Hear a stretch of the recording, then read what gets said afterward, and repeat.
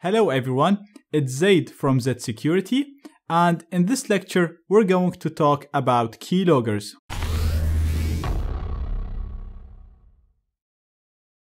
A keylogger is a program that runs in the background of the target computer and basically records all key strikes that the target person enters on their computer. So it doesn't matter where they use the keyboard, whether they use it to log into a website, whether they use it in a chat, whether they use it to write stuff in a Word document. This program will literally just record every key strike the person types on their keyboard and then send it to you to your email to analyze. Now, since this is not a programming course, we're going to use a program called Zlogger to generate the keyloggers for us. I've actually made this program myself. If you want to learn how to program your own keylogger, then have a look on my Python course. In that course, you'll learn Python programming from scratch by writing hacking programs. And one of the programs that you'll actually build in that course is Zlogger. Now, Zlogger is not installed in Kali, so you'll have to first download it from this Git repo and install it. Check out the description for detailed information on how to download and install Zlogger on Kali Linux. Once installed, you'll need to navigate to the location where you installed it. Now, if you follow the instructions in the description, you'll have it installed in OPT Zlogger. So I'm to do cd opt zlogger. Now, if we do ls, we'll see all the files in this directory, and the main file for the program is zlogger.py. Now, since this is a Python program, we have to type python followed by the program name in order to run it. And because this is the first time that we run this program, it's a really good idea to type dash dash help to see how we can use this program and all the arguments that we can set for it. So I'm gonna hit enter, and as you can see, I'll get a very helpful message showing me how to use this program. So we can see, first of all, the usage is gonna be Python, followed by the program name, followed by the options. So let's do the easy bit first, and we're just gonna do Python, followed by the program name. And then let's look at the options one by one and set their values. So we can see the first argument is the help argument, which we actually used, and the description for this is it'll literally show us this message right here. The next argument that we can use is the interval, and this takes a value, and the description tells us that this is the time between reports in seconds. So if we set this to 60, we're gonna get a report every 60 seconds. If you set it for 3600 seconds, which is an hour, then you're gonna get a report every hour and so on. Now, because we're only testing, I'm gonna set this to a small number. So I'm gonna set it to 60. So I'm gonna do dash i 60 so that the program will send me a report every minute, every 60 seconds. Now, this won't be useful in a real life scenario because you're gonna get a lot of reports. But because we're only testing, it's fine because I actually don't want to wait for a long time before I can see the results. The next two arguments in here specify the target operating system. So if my target runs a Windows operating system, we're going to use dash W or dash dash Windows. If it uses Linux, then we're gonna do dash L or dash dash Linux. This will allow Zlogger to know how to compile the keylogger so that it runs on the target operating system. So for now, we're targeting Windows, so I'm gonna do dash W. And then we're gonna go to the required arguments here. And as you can see, the first one is dash E or dash dash email, and this takes a value of the email. And I think this is self-explanatory. Basically, this is the email that the program will send the reports to. So I'm to do dash E and put my email, which is johnwick70 at gmail.com. And the next argument, you probably guessed it by now, it's the password and it's the password for this email so that the program can log in and send emails to myself of the reports. So the password is going to be abc12, abc12. So this is my actual password for this email account. Finally, and the last argument is the dash O argument, which allow us to specify the name of the file that will be generated by the keylogger. So I'm gonna do dash O, and I'm gonna call this just keylogger. So very, very simple command. All we did is we're doing Python followed by the program name, which is zlogger.py because this is a Python program.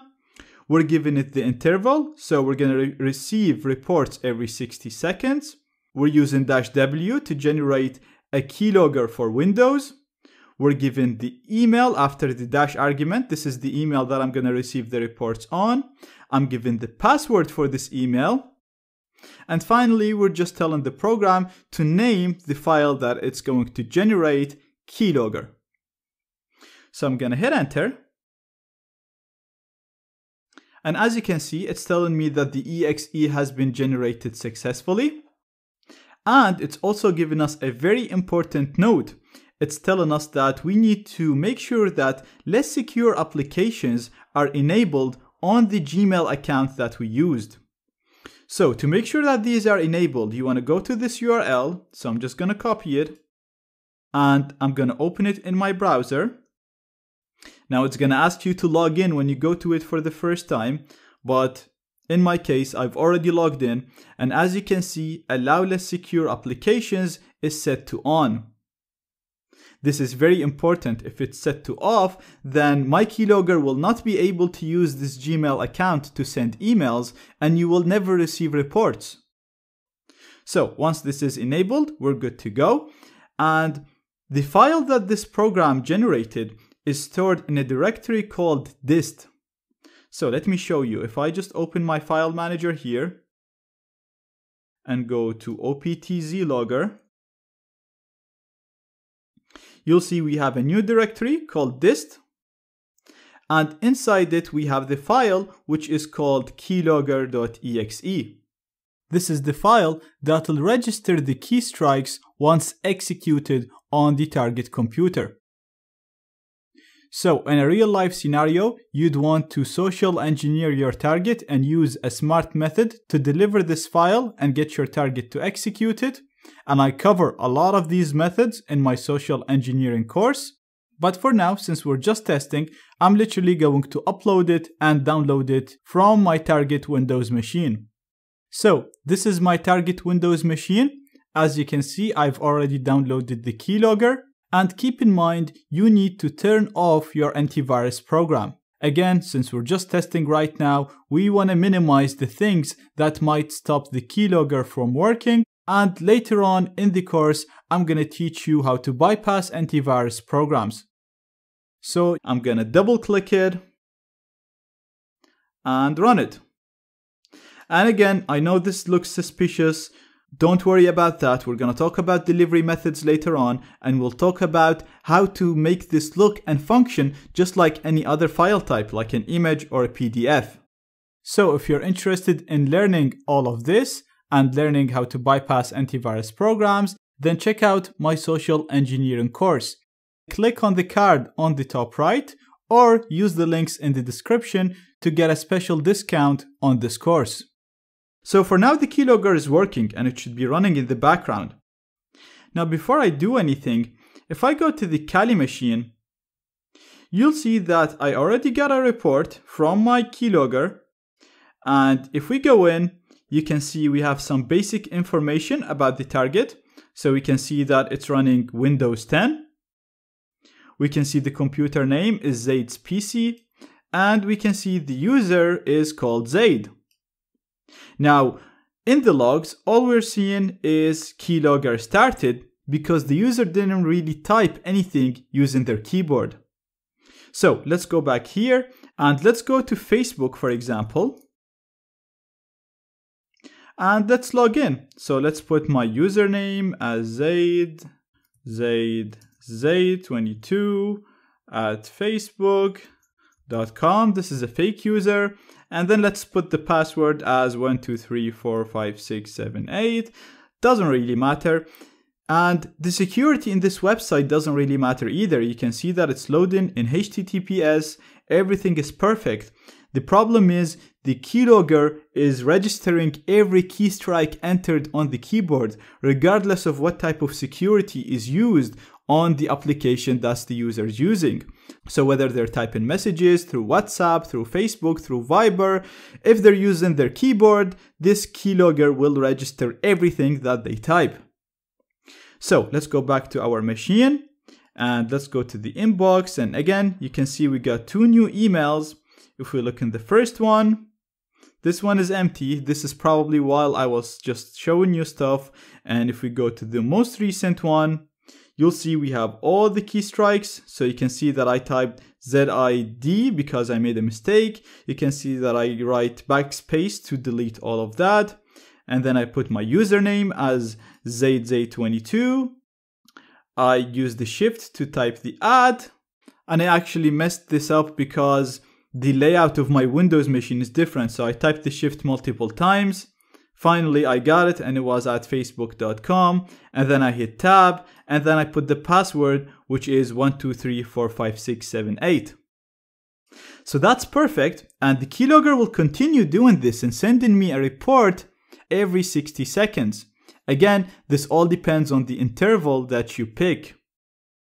Now, another really cool feature for this keylogger is that it's persistent. So if I close everything now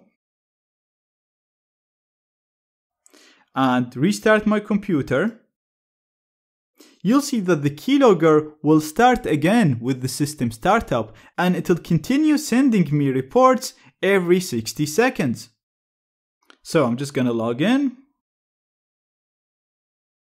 And let's go ahead and open Firefox.